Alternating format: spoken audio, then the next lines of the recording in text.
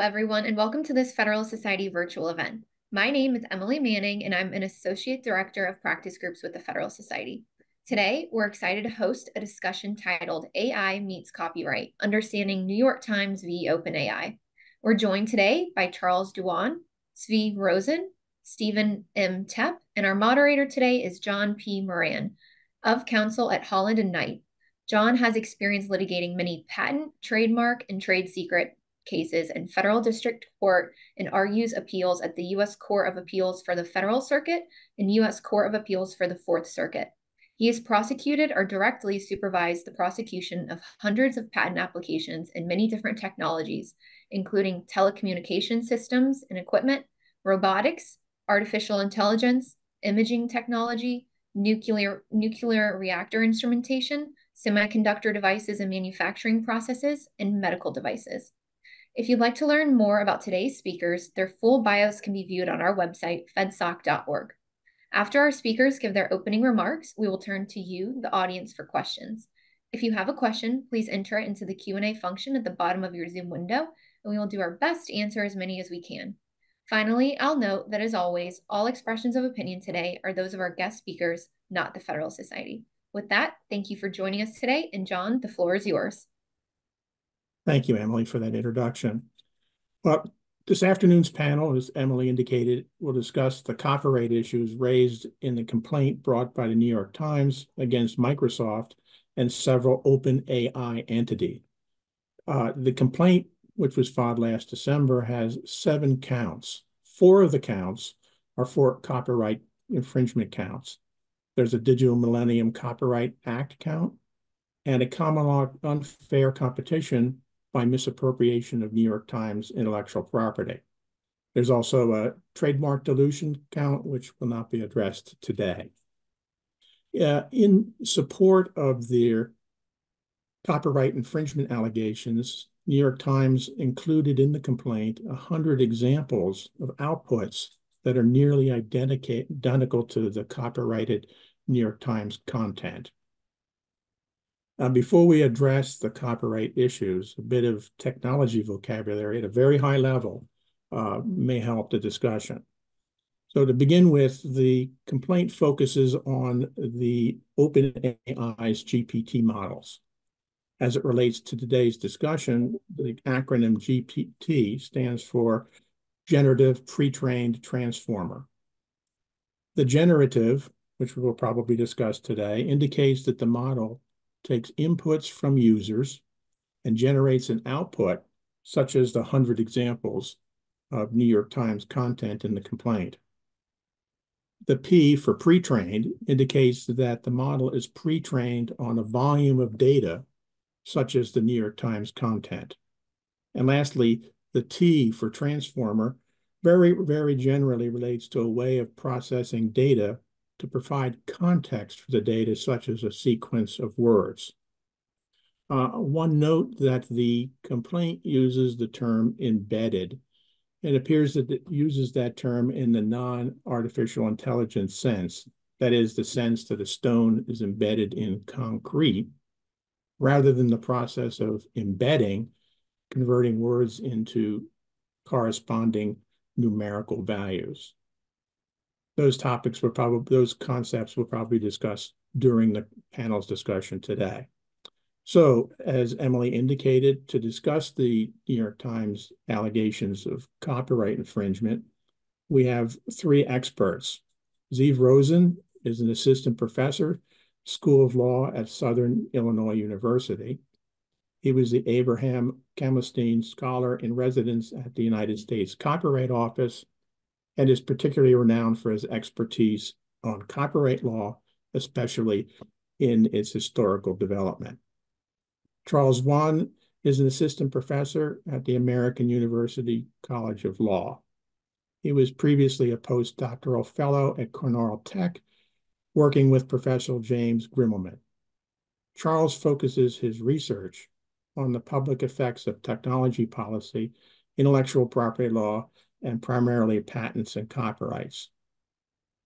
Steve Tepp is the president and CEO of Sentinel Worldwide, which is an intellectual property consultancy. He's also a lecturer in law at the George Washington University School of Law. More recently, Steve has co-founded RightsClicks, which is a suite of software tools for independent creators to register, manage, and enforce their copyrights. As Emily indicated, we'll start with opening statements. We'll begin with Zeev, then Charles, and followed by Steve. So with that, uh, I'll turn it over to Zeev. All right, everyone. Uh, good afternoon or morning, depending where you are. Um, there are uh, this case is really fascinating because it, we're finally getting at a host of important issues regarding AI and the internet and um, what I call traditional producers of cultural works, um, be it New York Times or many other that I think will probably be on its coattails.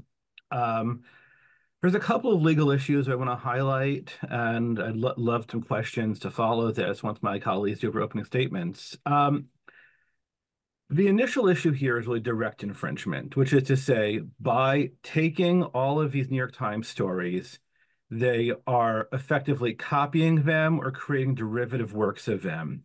Um, a derivative work is a work which recasts, adapts, or transforms an existing work.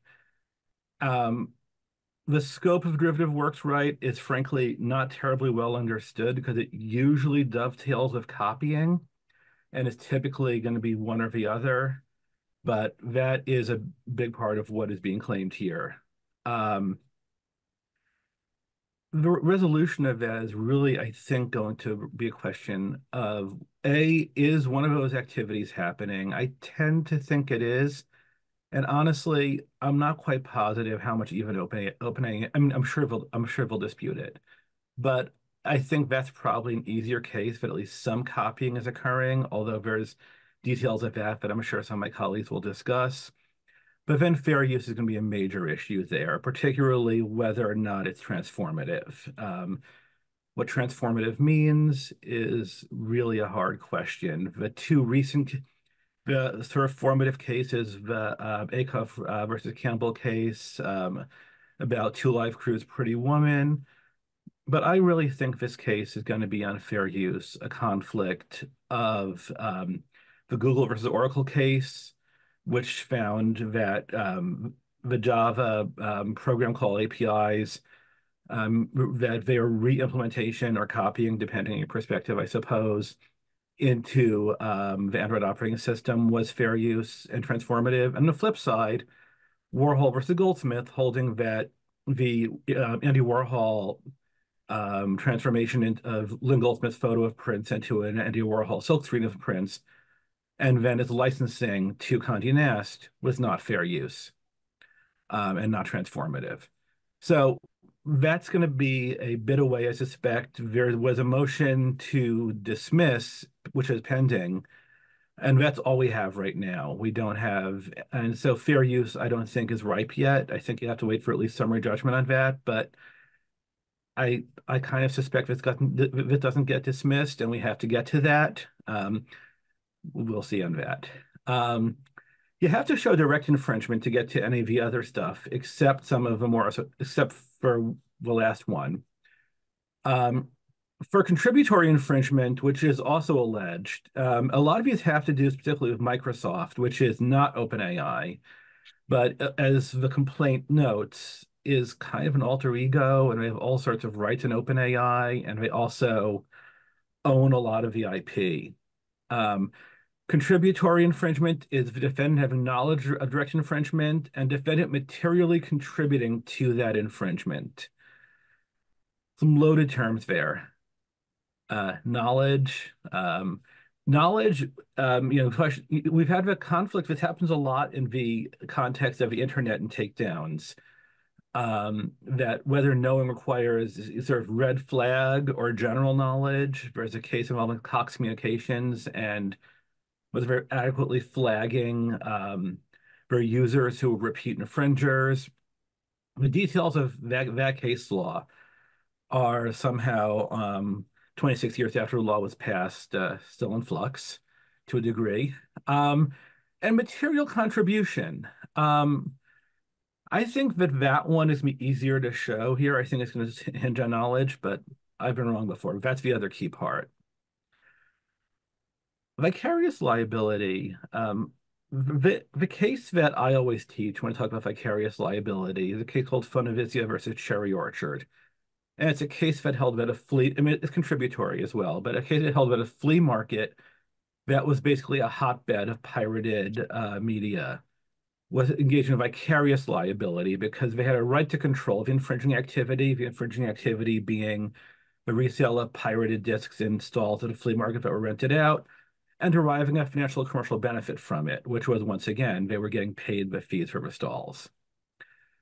Both of those are, I think, are I think are going to come up quite substantially.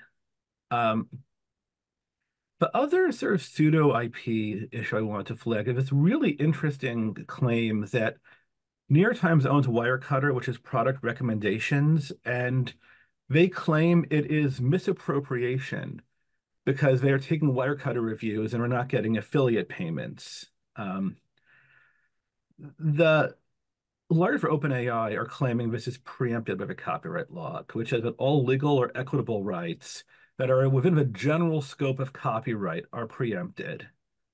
And on the other hand, you have this case, INS, International News Service versus Associated Press, Supreme Court 1918, holding that misappropriation of hot news, in other words, news which was fresh out of a battle lines of World War One, was a misappropriation and a violation of common law rights. And that was not preempted. The scope of INS versus AP nowadays has been questioned, where some cases have limited it, but it's not dead. And so I think it's be interesting to see how that plays out. Um, I think well, I'm looking forward to some more of your questions. I think we'll turn over to Charles for more for his, thoughts. Um, all right. Uh, thank, th thanks Zvi for that, you know, um, really excellent introduction to kind of what the major issues are in this case and what the kind of key doctrines of copyright and other law um, are that are at play. As you can see, this case has a lot of things going on. And so, you know, what I'll try to do is I'll try to, number one, just go through kind of what's been going on in the case specifically. Um, so I'll talk about particularly the motions to dismiss that have been filed, um, and then take a couple of guesses. As we mentioned, uh, we don't know what the fair use defense is going to look like, but I'll try to talk a little bit about, you know, what I'd expect um, particularly trying to guess kind of what I would imagine OpenAI would try to argue, um, and then maybe leave with a couple of um, broader thoughts about kind of where this fits into the into into the larger debate over over copyright and AI. So as far as the procedure for the lawsuit goes, we started with a complaint in the lawsuit filed um, in December 2023. Um, and now we have on the table two motions to dismiss, uh, one from OpenAI that was filed late February and one from Microsoft that was filed about a week ago. These motions to dismiss don't go to the entirety of the case, which is somewhat interesting. They only go to what the um what what Microsoft and OpenAI describe as sort of ancillary issues. Um, and so the ones that they talk about in particular, the contributory liability issue, they say that there's a lack of knowledge, as Zvi mentioned, so they say that that one should be dismissed. Um, the common law misappropriation issue that's you mentioned, this hot news INS versus AP case kind of theory, they say that that's preempted by the Copyright Act, that copyright protection being a federal law overrides what the state's um what what state protection is given there. And they point to you know a number of cases that show that the ins versus ap doctrine is kind of begrudgingly accepted at this point and that's kind of their argument for that. Um john mentioned also that there was this digital millennium copyright act um count in the complaint and that one is actually somewhat interesting so i'll just um I'll, I'll go into that just a little bit. Um some of you may be familiar with the digital millennium copyright act in terms of its anti-circumvention provisions the rules that say that you're not allowed to kind of break digital rights management. This case actually deals with a different part of the dmca section 1202 which relates to copyright management information. So basically the inclusion of metadata like authors or titles or copyright notices inside files files, typically digital files. And so the Times argues that in training these generative AI systems, OpenAI and Microsoft removed that information and as a result violated section 1202. The difficulty that they're going to face in proving that, as Microsoft and OpenAI point out, is that in order to show a violation of the section, you have to show what's called a double scienter requirement number one, that OpenAI knew that it was removing, and number two, that it knew that the result of removal, or at least should have known that the result of removal would be further infringement. And so OpenAI and Microsoft argue that number one, there's no evidence that this information was actually removed during the training process, but number two, that they won't be able to satisfy the knowledge requirements. Um, they also raise a time bar question. They say that there's a three-year period, uh, look back period that limits the extent that the copyright um, allegations can go back. That's actually a case that's being considered by the Supreme Court right now. It was just argued a couple of weeks ago. Um, and so that's just another argument that they bring up. But this, again, doesn't get to the substantive questions that Zvi mentioned the questions of whether or not there actually is copyright infringement in the training of these systems using the New York Times and other articles. There are three points that um, the Times identifies as where the infringement could occur. Number one, they say that the collection of the articles to make the training data used to train these AI systems, that was an infringement because you were making a lot of copies in order to collect them. Second, they allege that the model itself, all of the data parameters, the I think 1.7 trillion numbers that make up the um, the the GPT systems, that's somewhere embedded in there is all of the information necessary to re replicate a lot of the articles, and therefore the model itself is a potential infringement. And third, they say that when you use the model in such a way that it generates um, that, that generates infringing content, that that use is sort of a public performance. It allows you to get the information out. Um, in order to show that these, um, in, order to show infringement, what the Times would have to show is number one, that this is copyrightable subject matter. Um, there are some interesting questions there because, you know, a lot of the information that's being drawn is factual. And so maybe there'll be that issue that comes out. Generally, factual information is not considered copyrightable, but, you know, like I said, that's probably not going to be the lead argument. Um, there also are questions of what exactly counts as an infringing act. You know, is something that's internally inside the model that nobody could actually see or understand, is that an infringement? There's actually sort of an interesting question about that. But again, the large issue that OpenAI and Microsoft um, intend to raise, in fact, they say that they are they're, they're actually very excited, they say in their um, in their motions to dismiss, to litigate this issue, is the fair use question. Assuming that it is an act of copying or it is a derivative work to do all of those things I just mentioned, does the fair use doctrine permit it? And so courts have used the fair use doctrine in a variety of situations, Google versus Oracle in the software context, um, the Warhol case, that was an artistic use, um, the, the Campbell case, that was parody. Uh, fair use is sort of this jack of all trades doctrine. It ends up being used in all sorts of places. Um, in that line, there are a number of cases that will help OpenAI quite a bit, although possibly to a limited extent. Um, there was a case over Google Images where Google had collected a bunch of images and was displaying them using an image search engine. Court said that because Google had really downsampled them and they didn't really serve as a replacement. That database of images was fair use. Um, there's a case called iParadigms in which a um, company made a plagiarism detection program, and there was a question of whether or not the inputs to the plagiarism detection program, which were basically the essays that were being detected, um, whether or not that was an infringement. And again, the court said, you know, this is sort of a new tool. The actual articles aren't retrievable. Um, similarly, with the Google Books case, it was alleged that Google's scanning of a bunch of books to create the Google Books search engine was um, copyright infringement. And again, a court said the I think the Second Circuit said that this was fair use on the grounds that the mass scanning of books to provide a service that didn't really replicate the value of the books themselves um, was was was was allowable and as a result not a copyright infringement. Um, courts usually apply this four-factor test in which they look at the um the the the nature of the copyrighted work, the nature of the um the the the use, um the purpose and character of the use, the amount that was used, and finally, and probably this is the most important factor by many measures, the economic impact on the market for the original copyrighted work. And I think that that's going to be the most interesting one to follow in this case, because on the one hand, these are incredibly valuable systems, right?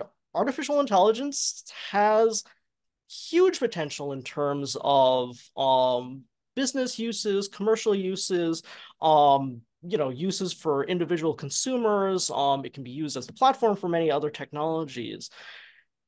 Is that part of the market that inheres in the copyright that the New York Times has in all of its articles or that a novelist has in all of the novels that are used in training, right? The novelists or the New York Times, they would say, yes, the point of our articles is to provide information.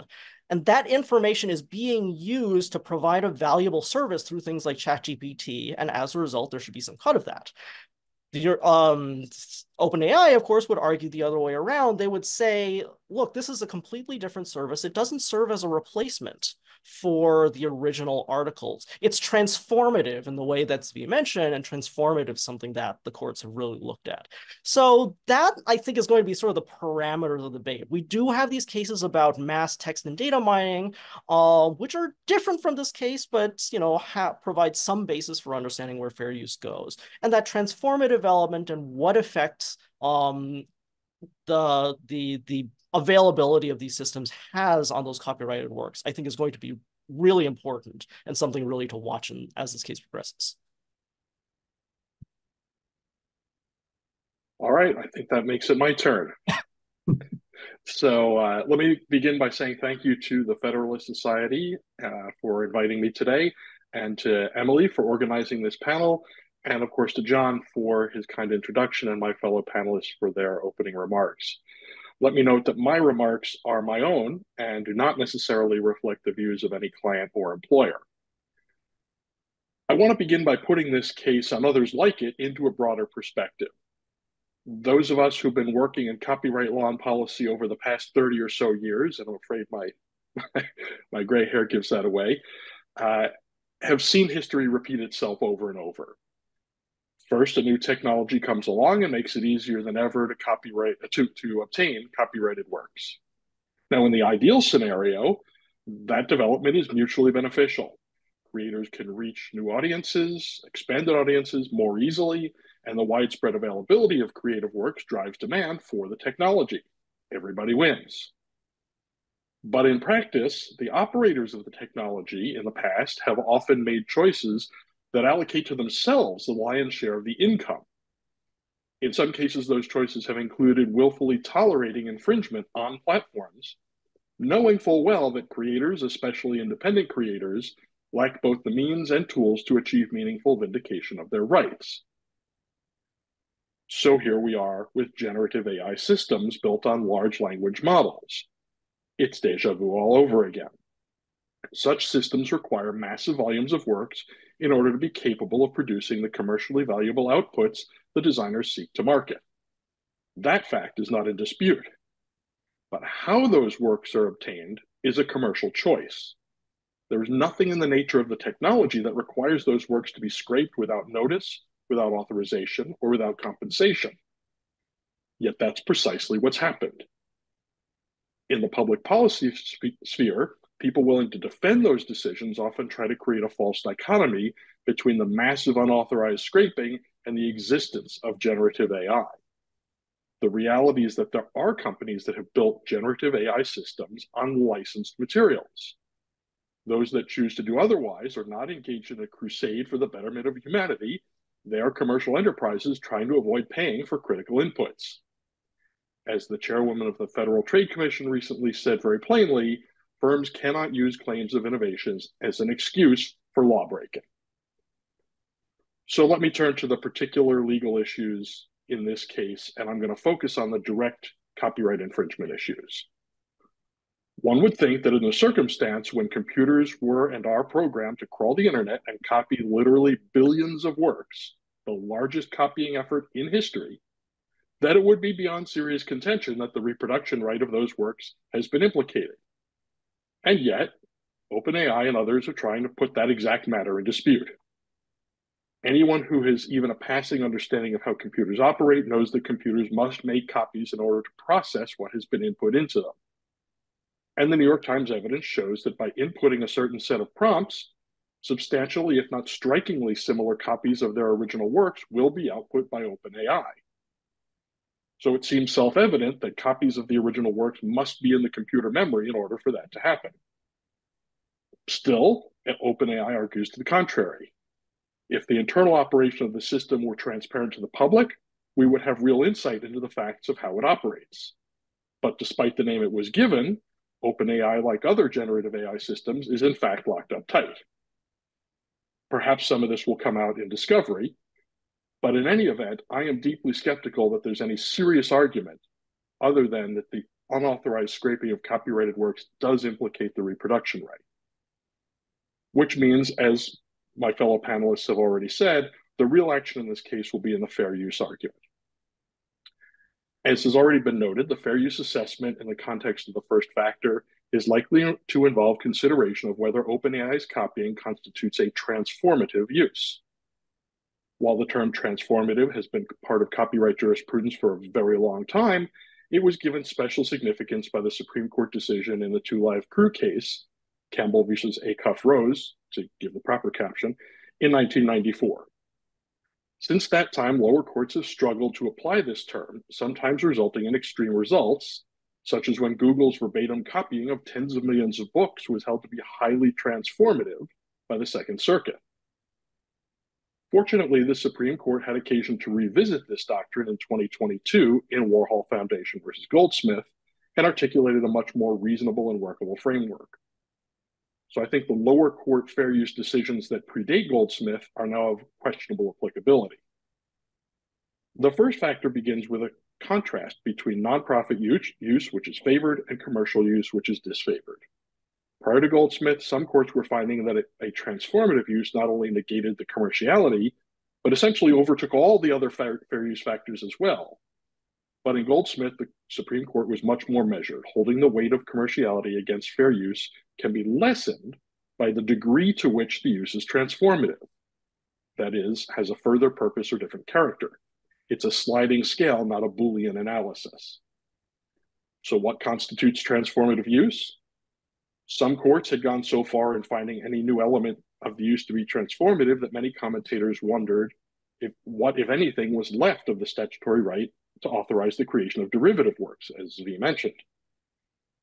The Goldsmith court wrote to make transformative use of an original must go beyond that required to qualify as a derivative.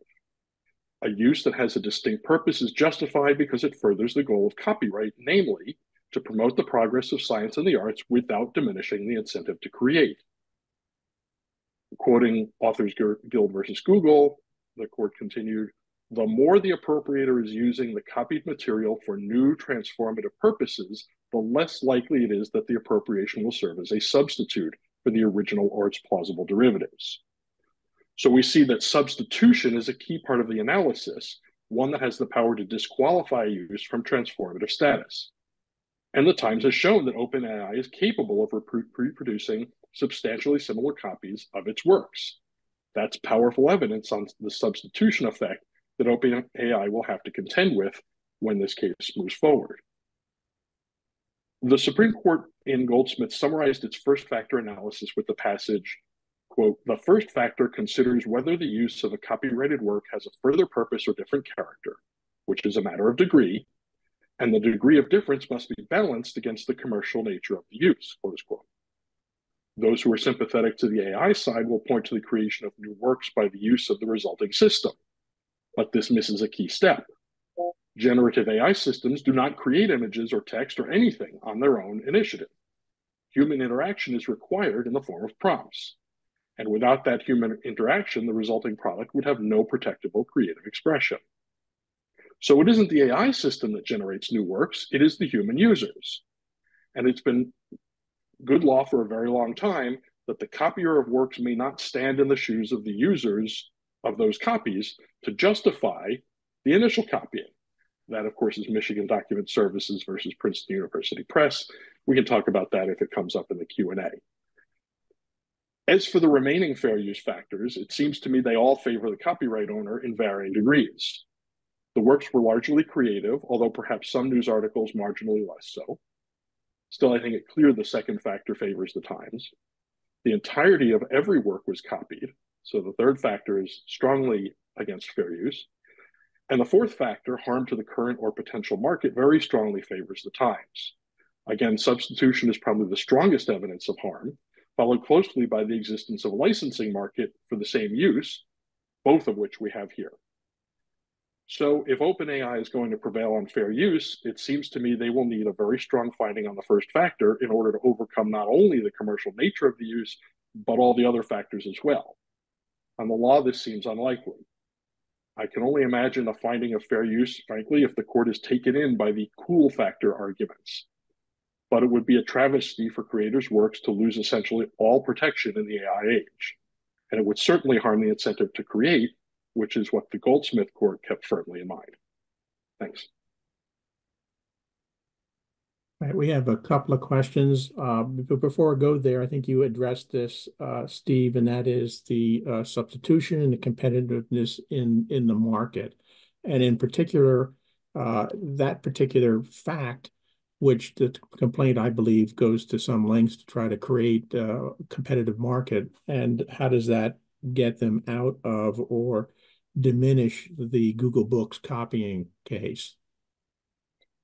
Well, I'm not sure the degree to which Google Books is still good law after Goldsmith. Uh, not that Goldsmith overturned that decision in any way, but the analysis was so different that uh, it's it's hard to make that case uh, any longer that, that Google Books really is is useful precedent. When you look at this at AI, generative AI systems in the most general way and, and kind of departing for a moment from the particulars of the law, but in a matter of social policy. We have systems where people's work product was copied without their knowledge, permission, or compensation, and is being used to design and implement technology that will then put many of those people out of business entirely or substantially reduce their income by competing directly with them. There's also questions about, you know, well, why did you copy this work versus that work? Does any individual work have particular value? Works were chosen because they are valuable for what they are. And so there is value there. And, and I think at a, the highest level of of public policy analysis, value was taken, value has been created in companies that are already valuing themselves at over a trillion dollars. And there's got to be a way to compensate the people whose works were taken to build those systems. This it's beyond this panel to talk about exactly how that works. Going back to the particulars of the copyright law, the fact this goes back again to the reproduction right. It it seems self-evident to me that copies were made, and I've just made the, the fair use analysis that I think is appropriate. So I'm uh, I wouldn't be surprised to see the Times prevail in this case, and uh, but time will tell. So we have a question that goes oh. to uh, two aspects. Can I jump in quickly on that? I'm, I'm sorry. sorry. Go ahead. Yes. Um, I just wanted to say, um, I, I think a slightly different tack on Google Books. I think it's very much of, of a piece with Google Image Search, and I think it has to be read as fact specific. I mean, whether or not it's good law after Warhol, I don't know, but I really think that the focus on snippet view and directing people to booksellers in Google Books, and the focus on directing people to websites in Google Image Search was key was key to the decisions in terms of a market effect and a transformation. If the use was not a substitute in any way, at least in the court's view, but rather a channeling use of sorts. And so I do think there has to be a difference there where there's no channeling whatsoever here. But like Steve said, we'll see.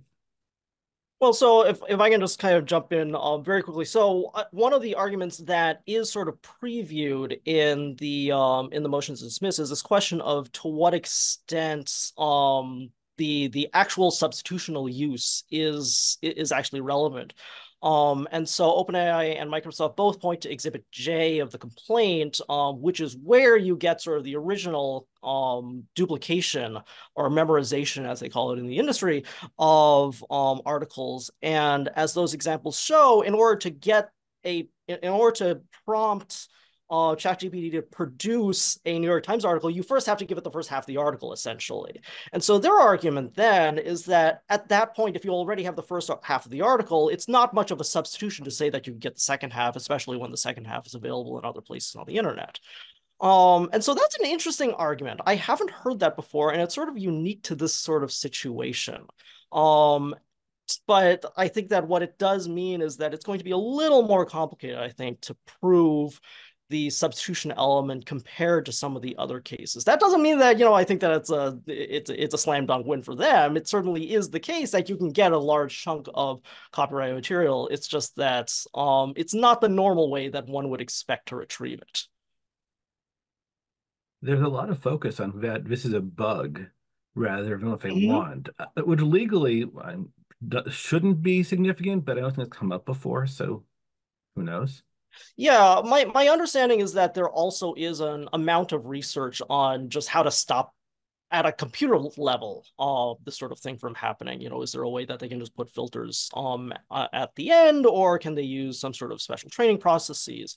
Um, that is sort of an interesting research question that I know is open. I think that the difficulty is that a lot of times articles are available online in slightly different variations, like somebody might omit a paragraph, and that's why it's hard for um, it, it's hard to simply detect identical copies.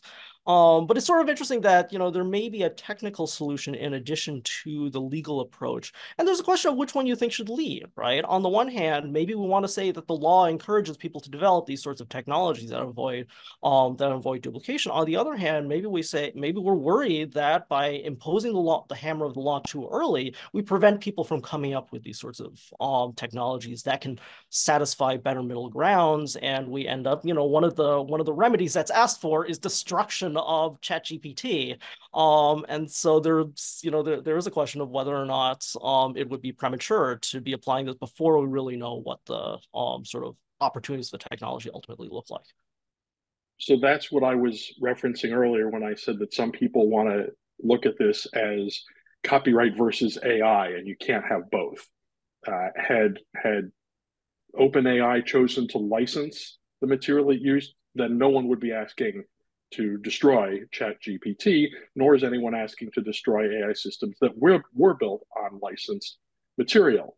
So, putting that aside for a moment, the, the substitute effect has several layers to it. First and foremost, the fact that you can get that material out of ChatGPT is strong evidence that the copyrightable material is somewhere in the ChatGPT system, the OpenAI system, and therefore the reproduction right is implicated.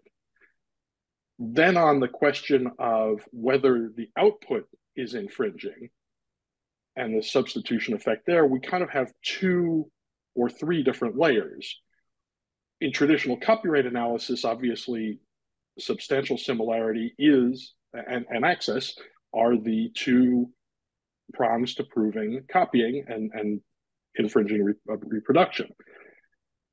So the fact that it may be difficult or unusual to get chat chat gpt to put that out doesn't mean it's less infringing. It just means it may take a little more work but it's it's still infringing. More generally more more there's a question about the degree to which these generative ai systems will overall all diminish demand for the copyrighted works produced by the people who produced the works that were used to build the system. And that admittedly departs somewhat from a, a direct infringement analysis to more public policy question of is it right that the people whose works were taken without notice, without permission, and without compensation should be told, sorry, you're out of luck, and these new systems that we built with all the things we took from you are now going to put you out of business.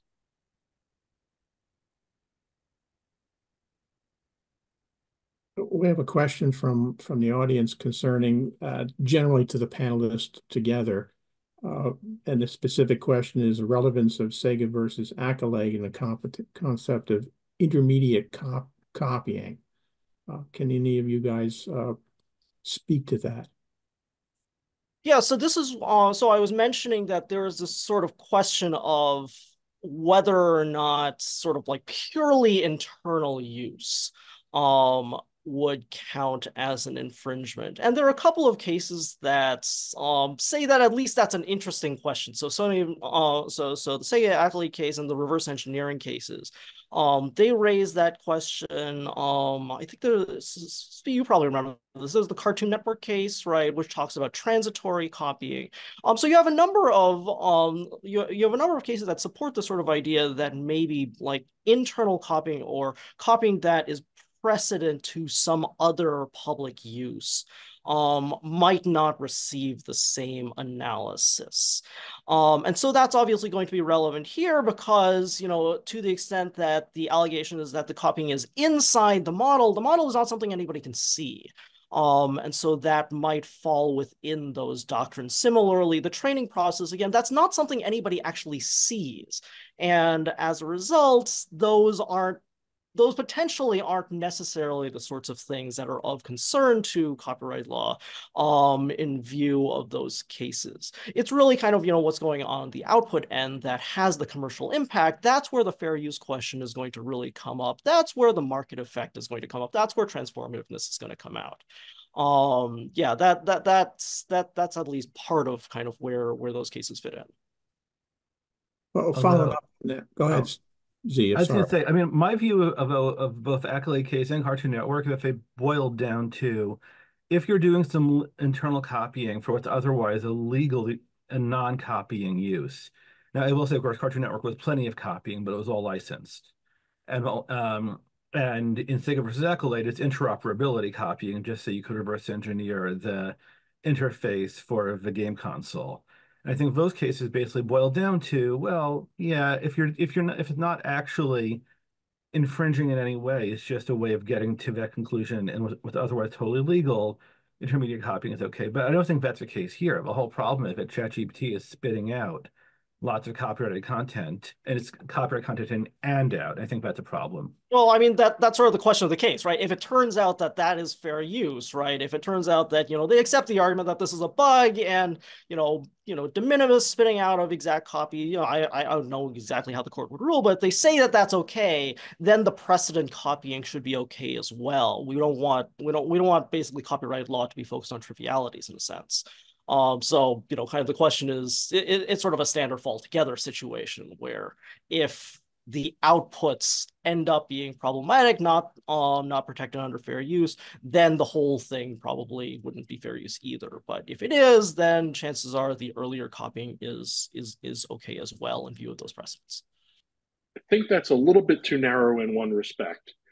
Sega versus Accolade was predicated on the fact, the ruling was predicated on the fact that the resulting products that Accolade wanted to create were not competing with what they copied in any way, not not direct substitutes or even trying to create competing products as alternatives, but rather games, rather as opposed to the operating system, which is what they copied, games that would simply work on that operating system. Whether generative AI systems are outputting substantially similar material to what was copied, or even just generally competing with creators, it's much more of a market effect than we had in any way in Sega versus Accolade. And and I have to on on Cartoon Network case, I don't really see much of a an analogy there to any part of this case. Uh, that dealt with, you know, a, it was, well, all three aspects of the Cartoon Network case were and remain uh, outlying outlier decisions on both the, the temporary copy issue, the and the public performance issue, as well as the the uh, authorizing the copy or, or the the uh, uh, I can't think of the word anyway. None of those. It, this is not about public performance. This is not about temporary copies.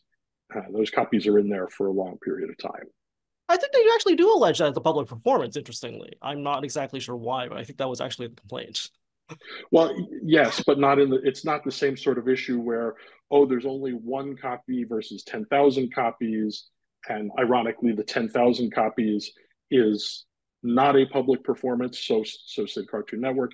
In the event of all the holdings of Cartoon Network, that element is surely the weakest after the Supreme Court decision in Aereo, which, while not explicitly overruling Cartoon Network, articulated very clearly an analysis at odds with the Second Circuit's analysis of public performance in Cartoon Network.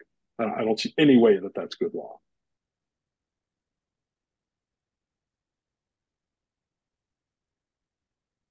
Uh, does do any of you have a view of the likelihood of a, uh, a licensing solution to this, or do you think it's going to resolve on by the court, Supreme Court, probably?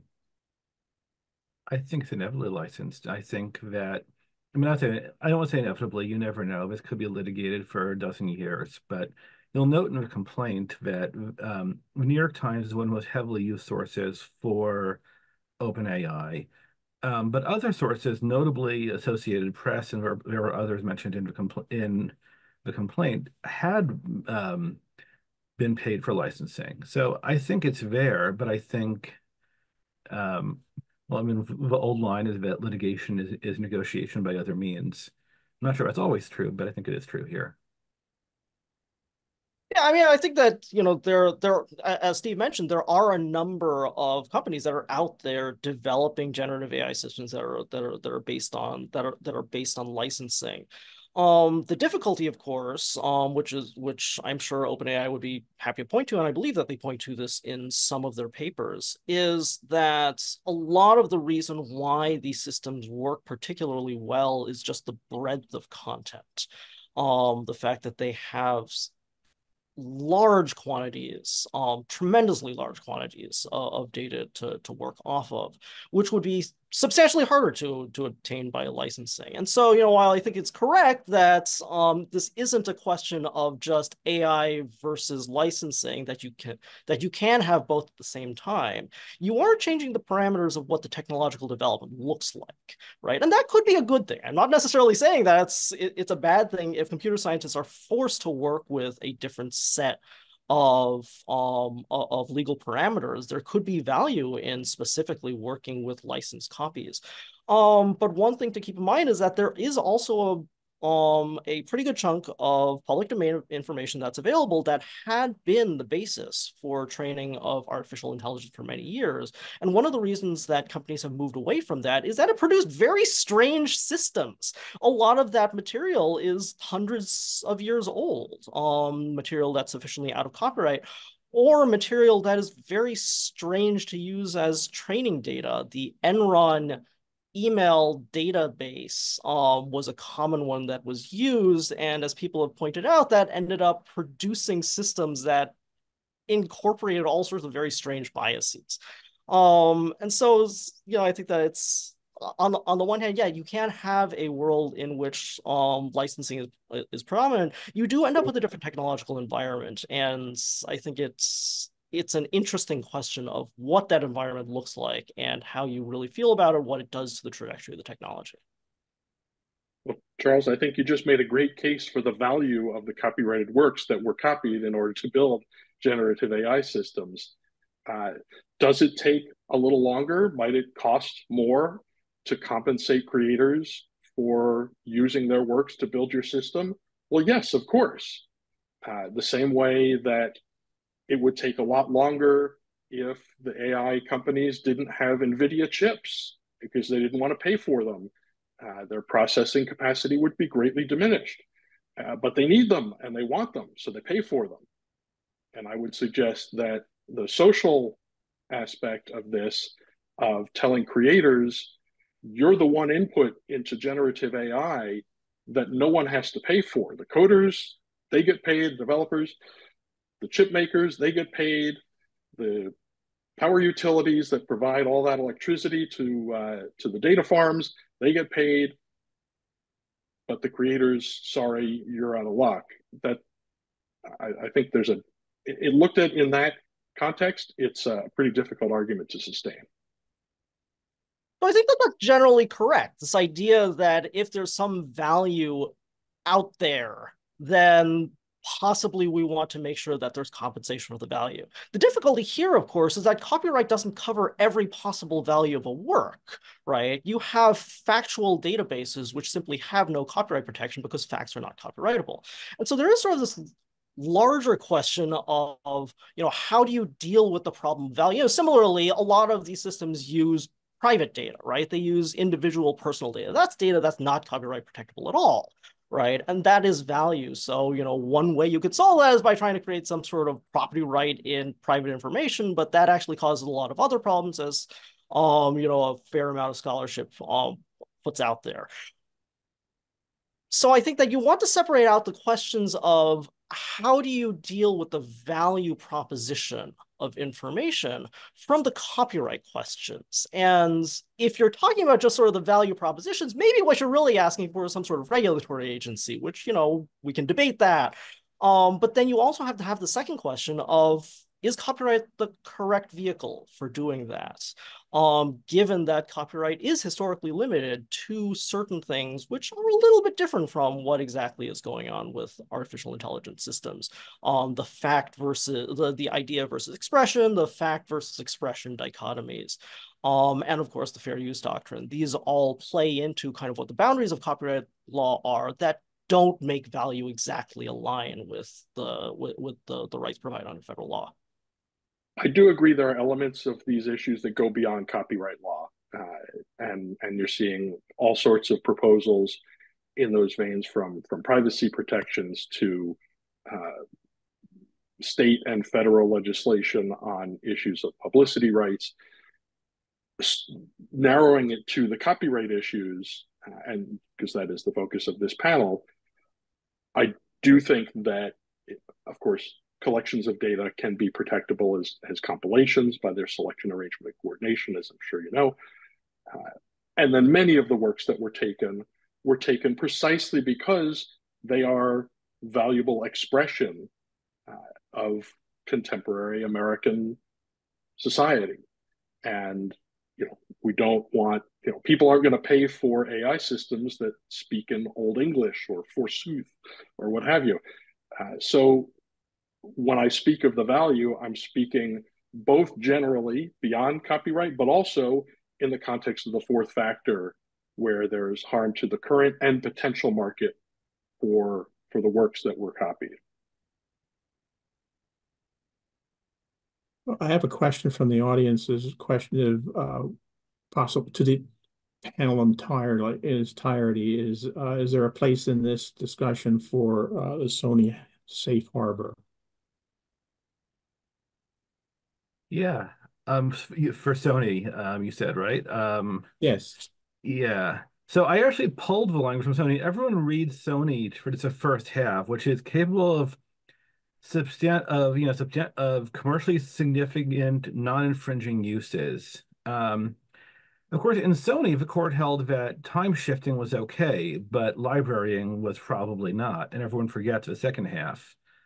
Um, there's room for it, but I don't think it gets you there in this case. Um, I think that clearly OpenAI had, well, actually is an interesting question. Is it capable of non-infringing uses? I mean, it sort of depends how you define it. Um, what what what what what point is non-infringing? And I mean, actually, a lot of the motion to dismiss was on statute limitations, but I have to think discovery rule was going to bring in the ingestion of a lot of that as well, potentially. Of course, then you know we might be waiting to find out what Warner Chappell versus Nealy holds, or it, or if anything is held in that case. This is the three-year um statute of limitations case. Yes. Yeah. So on the Sony case, this is for those of you who aren't familiar with it. This is uh, Sony Betamax issue from the early 1980s, when the movie studios sued claiming infringement by virtue of early video cassette recording of broadcast television. And as we said, there, there, was there were two findings. One was that recording a show that was broadcast over free uh, broadcast television strictly for the purpose of watching it later at a more convenient time is a fair use. But keeping libraries of those is not. And then, second, in terms of the contributory liability of the manufacturer of the Betamax machine, Sony in that case, that the, the existence of commercially significant, substantial non infringing uses meant the court would not impute knowledge of the infringement, and knowledge being one of the two prongs of contributory liability. The Supreme Court later in Grokster made very clear that there is no safe harbor. This question was framed as a safe harbor in Sony. That is not the correct framing of the law. There is not a safe harbor. Uh, if there are commercially significant non infringing uses, then Sony is still good law that the court will not impute knowledge for that reason. That doesn't mean the court might not impute knowledge for another reason, which it did in Grokster, and that reason being in that case that the defendant had induced the infringements by the users of the Grokster system. So all of that, of course, is in the context of, of contributory liability, which is a doctrine of secondary or third party liability in US law. But there are direct infringement issues here that I think need to be resolved first. And that's where the fair use comes in. The fair use argument comes in, which Sony has nothing to say about in this context. Yeah, so if I, I I know we're pretty close to out of time, but if I can just say a couple of things about Sony. So Sony is simultaneously irrelevant and also highly relevant to this case. Um, so the reason it's not terribly relevant is that Sony dealt with this contributory infringement issue, and here the allegation is direct infringement, right? And so as a result, by doctrine, um, it doesn't help us other than for the time shifting um, and the question of what counts as fair use. But the way it is relevant is that Sony is within a line of cases that deal with the intersection between copyright law and technology, right? So you have a new technology, the VCR, which doesn't itself say much about any particular copyrighted work, but is a vehicle by which infringements can occur. And similarly, you had cases about Xerox machines, photographs. You can go all the way back to the printing press if you really want.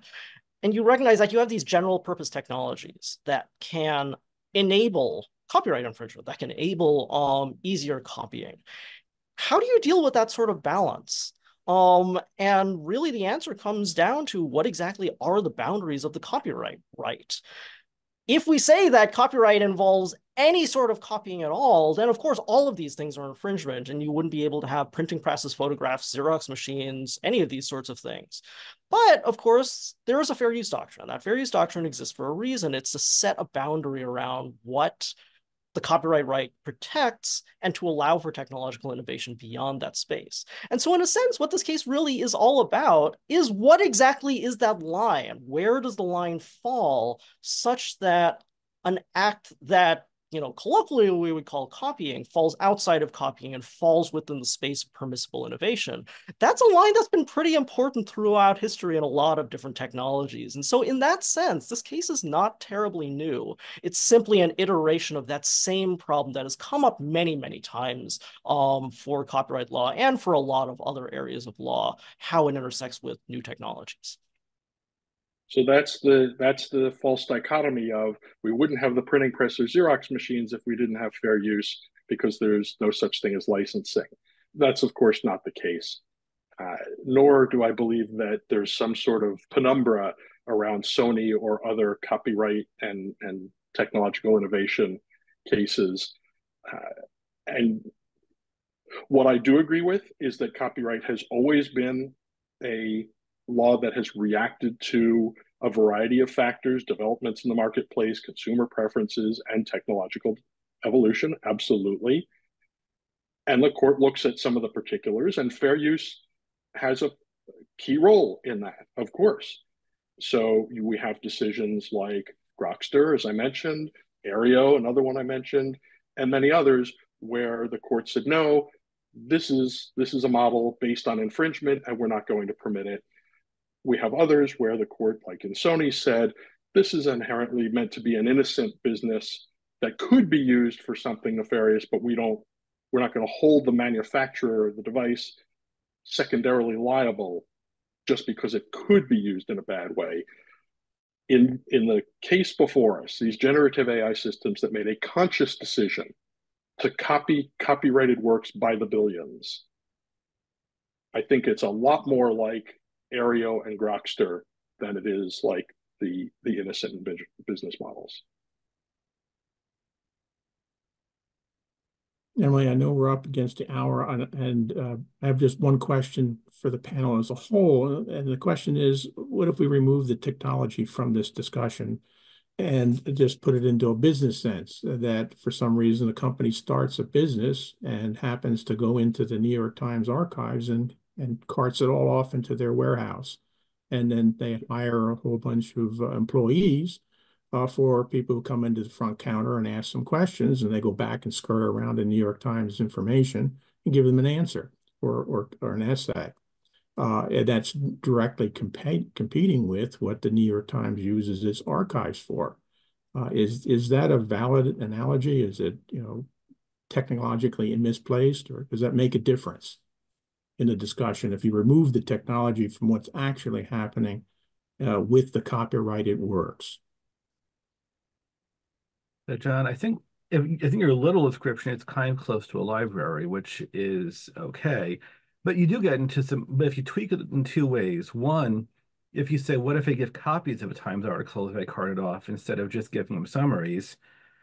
Or even if they like a cop I cut and paste out sentences in sort of a ransom note style answer, I think you're getting closer to the fact parent here. And then the flip side is what if they grab um, the New York Times from you know that from uh, hot off of presses in the East Coast, wire um, summaries of a story to the West Coast, and print from there. And of course, that's INS versus AP, which was held to be unlawful. So I don't think you can make it make it technology independent because there's all the technology dictates some of the legal questions. I mean, to make things even worse, um, they do talk about hallucinations, the problem in which sometimes you will ask for a New York Times article from ChatGPT. I'll give you something completely made up that has nothing to do with that. So the analogy really is a library reference desk that gives you every once in a while an exact copy of an article that it found, and every once in a while gives you totally useless factual information. Um, it's a little hard to draw analogies at that point, I think. Um but it does yeah and I, I think it kind of shows why it's a little difficult to work with analogies and sometimes it really is worth just figuring out exactly what's going on with the technology at its at, at, at its proper level.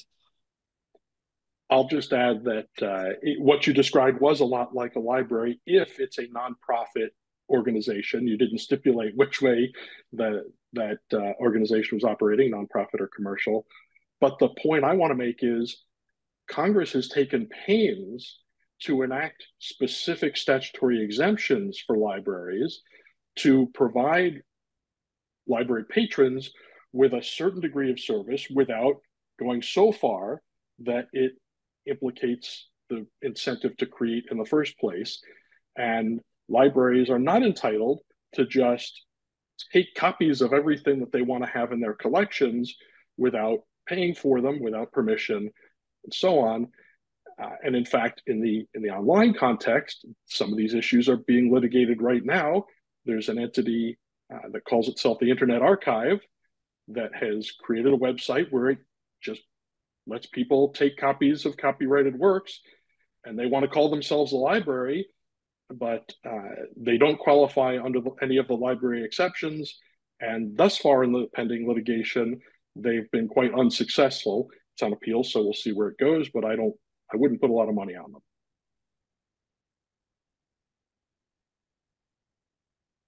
Over to you, Emily.